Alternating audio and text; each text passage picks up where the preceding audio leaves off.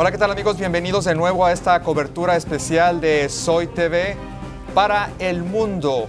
Nosotros continuamos con nuestros invitados. Tenemos en esta ocasión al señor Aldrin Gil, él es de la organización Primero, Justicia, Región Exterior.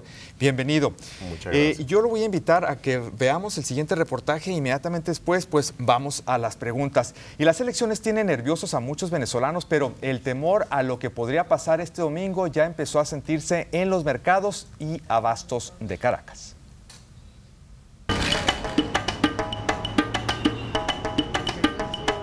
A medida que se acerca el momento de decidir entre Capriles y Chávez, aumenta el temor de las amas de casa y familias en Caracas por una posible escalada violenta que cause escasez después del domingo. Dicen que si Chávez no gana, pues que va a haber violencia y nos preparamos para eso, para tener algo en la casa, para no tener que salir. Este es el aspecto de varios supermercados caraqueños. Largas filas para llevar raciones adicionales de mercado o agua.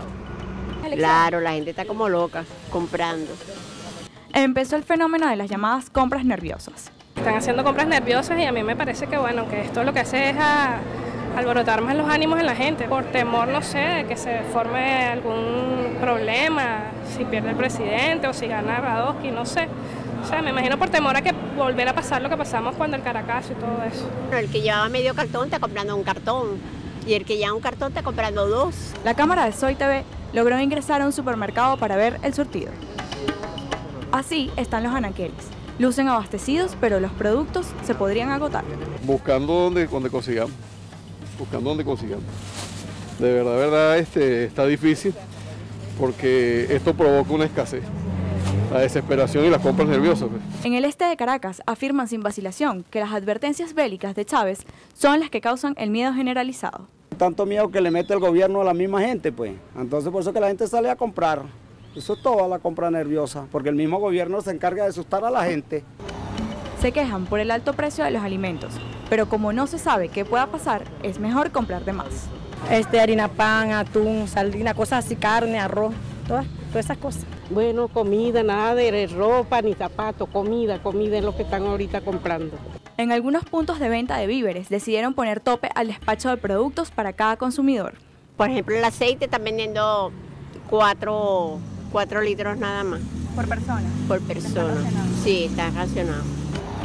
Entre tanto, este es el panorama en los mercados populares. La carne y el pollo son los más costosos. El huevo se consigue, pero con dificultad. En un sitio hay que comprar una cosa, en otro sitio otra cosa, buscar alternativas. Este mercado popular está ubicado en el municipio Sucre y surte a habitantes que compran al día y miden su presupuesto centavo a centavo no va a haber y esa es la desesperación que tiene la gente. Pues. Han estado caminando por ciertos este, establecimientos y no consiguen los productos porque las, compras nerviosas han provocado eso. Compradores y comerciantes comparten la preocupación porque hay productos básicos de la alimentación que pueden llegar a escasear. No había harina, no había azúcar, este, sí, hay muchas cosas que faltan. Productos de harina pan, los productos de aceite, de maíz, esos tipos de productos no se consiguen, azúcar en este momento no se consigue. Al final, albergan la esperanza de que las elecciones, la reacción de Chávez y Capriles frente a los resultados y las consecuencias del lunes sean solamente de serenidad. Para Soy TV, desde Caracas, Venezuela. Aldrin, vimos un escenario que sin duda se ha repetido en múltiples oportunidades en Venezuela. Sabemos que este tipo de nerviosismo, de reacción de las personas, eh, es común, es muy habitual que gasten y compren lo que no vayan a consumir. Vimos una señora, ¿para qué va a necesitar esa señora cuatro litros de aceite? Lo que pasa es que en Venezuela también sucede algo, y es que no se consigue por meses a veces esos productos en anaqueles. Hay ahorita, Aldrin, eh, nerviosismo en los votantes, vimos este reporte muy completo, pero cuéntanos, tú que estás conectadísimo, ahorita con eh, los ciudadanos en Venezuela. Hay todavía nerviosismo pese al llamado de paz que recientemente el cardenal acaba de hacer una vez que ejerció su derecho al voto. Sí, bueno, recordemos que para estos procesos siempre hay ese nerviosismo donde el venezolano pues busca abastecerse, solamente que en este momento pues no consiguen los mercados abastecerse de esas compras por nerviosismo, por lo que vaya a ocurrir dentro de Venezuela en unos momentos electorales que son tan decisivos como este. Eh, es lamentable pues que esa gente que busque eh, de una forma pues estar tranquila en sus casas eh, no logre abastecerse con los productos más necesarios pero es, normal, es normal de este proceso que ocurra, eh, que la gente esté con nerviosismo, pero la gente está con ánimo de darle un cambio a todo esto. Lo bueno es que una vez que culmine, van a tener eh, los estantes llenos, todas esas familias, puesto que van a tener mucha compra para, bastantes días debido a esas compras nerviosas. Mira, eh, te invito a que veamos a continuación el reporte de David de Mateis. David de Matei se encuentra también haciendo un recorrido desde bien temprano en, en la mañana en Caracas, Venezuela. Y vamos a ver el reporte que nos tiene desde allá.